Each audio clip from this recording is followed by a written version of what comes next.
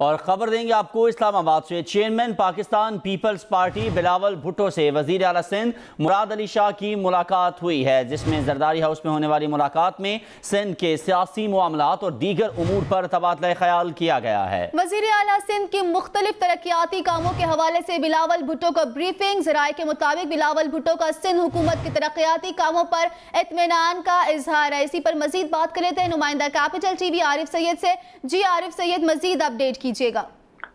جی بالکل جیسا کہ آپ کو معلوم ہے کہ آج وزیر اعلیٰ مراد علی شاہ اسلام آباد پہنچے تھے۔ انہوں نے نو منتخب صدر عالف علوی کی جو ہے، حلف برداری میں شرکت کی تھی۔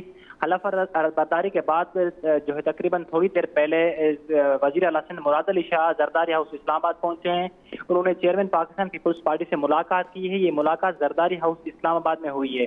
ذرائع کے مطابق، وزیر اعلیٰ مراد علی شاہ نے chairman Pakistan Peoples party Bilawal Bhutto Zardari کو سندھ کے مختلف پروجیکٹس اور جو ترقیاتی کاموں سے متعلق جو ہے بریفنگ دی ہے، جس پر پاکستان پیپلز پارٹی کے چیئرمین بلاول بھٹو زرداری نے کافی اطمینان کا اظہار کیا ہے۔ جی۔ بہت شکریہ عارف۔